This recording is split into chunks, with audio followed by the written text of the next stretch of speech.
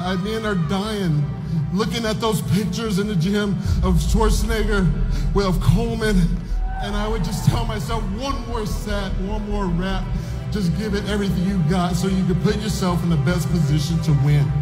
When I got into this journey, you know, I was, you know, a little bit bitter because I didn't make it playing Division One basketball, and I was trying to find another outlet. And bodybuilding taught me how to be strong mentally, physically, and emotionally.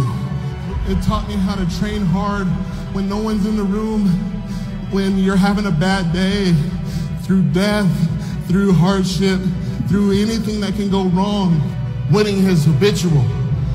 If you care about your success more than anyone else in the room, I promise you this, you will be successful at some point in time. It's a marathon, not a sprint, and the measurement of a man is when he gets knocked down, not when he's winning. So I lost a few times. And he always reminded me just to keep on going and be the hardest worker in the room, just like what you say.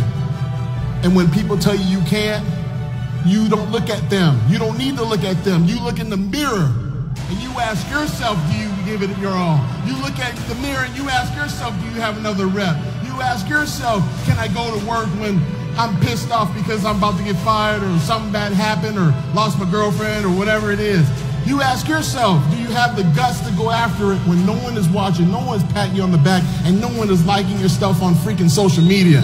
If you got the guts to go after it, you can put yourself in the best position to win. And that's what I did through this entire prep. It was not easy. A lot of people say, oh, Phil, he's got genetics and this and that. I put that God given talent to work each and every damn day in the gym.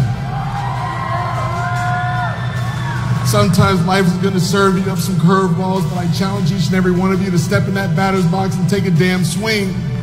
Just take a swing.